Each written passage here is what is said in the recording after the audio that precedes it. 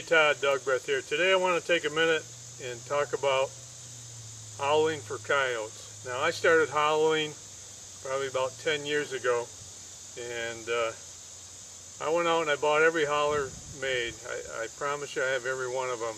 And that was probably the, the one call that I was most disappointed in were the howlers that were on the market. So I spent a lot of time uh, you know, developing and designing my howler and I had a couple goals uh, that I wanted to accomplish. Number one, I wanted it to be, uh, of course, a, a, good a good howl, but I also wanted it to be something that uh, you can pick up right away with a little bit of practice. Uh, you know, you can you can be howling coyotes, and uh, the ones that were on the market, you know, I I mean, I still have some today that I still can't make a a sound out of the darn things. You know, they look really good on the package.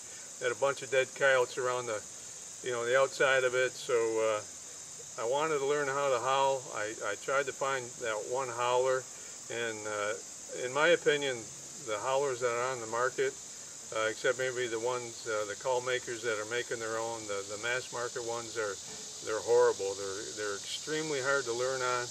Uh, you, most of them you got to be Olympic athlete to blow the air through and uh, I, I spent a lot of time, I wanted mine to be different, and I'll tell you what, I, I will put my howler up against any howler uh, there is out there right now. So if you haven't howled for coyotes, a uh, couple things, you're missing a really good calling technique.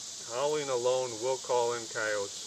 I howl as much in the middle of the summer as I do in the middle of uh, the winter time.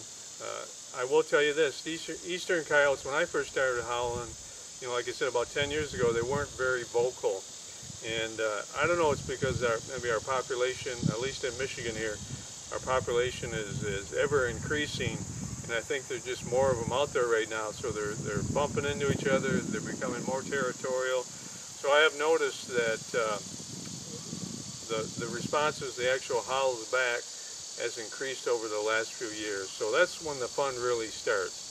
So you got a good technique. It, it will call in coyotes on its own. You know, they're very territorial. And plus, it's just a heck of a lot of fun when they start back and talking back to you, you know, when you get that big old male coming in all bristled up and yipping and yapping and growling, looking for a fight. You know, that's when the fun really starts. So, you know, it's not hard to howl.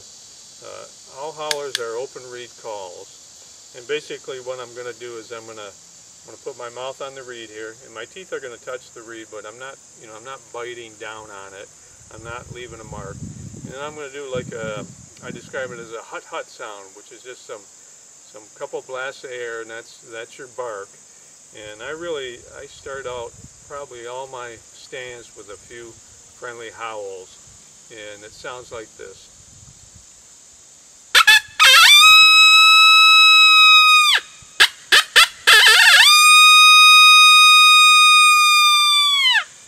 Can bring it up and let it let it taper off.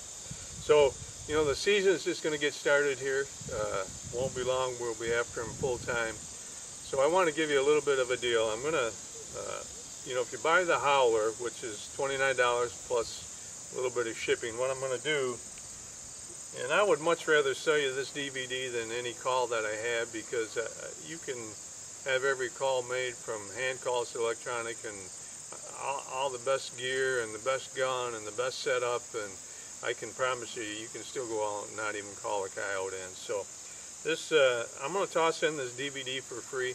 It's called my Shoot More Coyotes seminar and uh, you know now I'm lucky enough I get to travel around the country and give uh, give this seminar but this one was filmed by uh, Michigan Outdoors TV a few years ago at a big coyote hunting contest I gave or I presented my seminar at in Marshall, Michigan.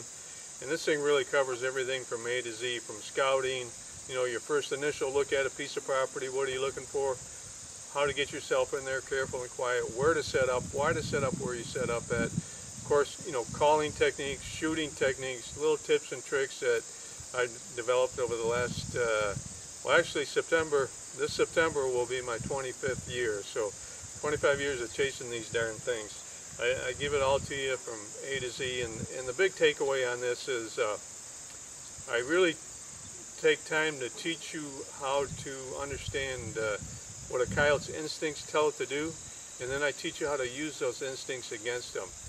You can't get a coyote to do what his instincts tell him not to do. You do that, you'll fail every time. You'll be one of those guys that go out and shoots a couple dumb ones a year. But uh, the way I describe it best is I, I teach you how to let that coyote do what it wants to do, and then you kill him. So you buy the howler, and uh, you get the free, DD, free DVD, uh, my seminar, Shoot More Coyotes. And then I always, if you've ever gotten a call from me, I always give you a demo disc, teaches you exactly how to blow this thing, and uh, has all my calls on there. So buy the howler, get the free DVD. It's a $14.95 value. I always give this with you. I'm just not going to send you home with something you don't know what to do with. So uh, thanks for watching the video. Season's coming on hot and heavy. It's almost the 1st of the September. Get yourself a holler, watch the DVD, and go shoot some coyotes.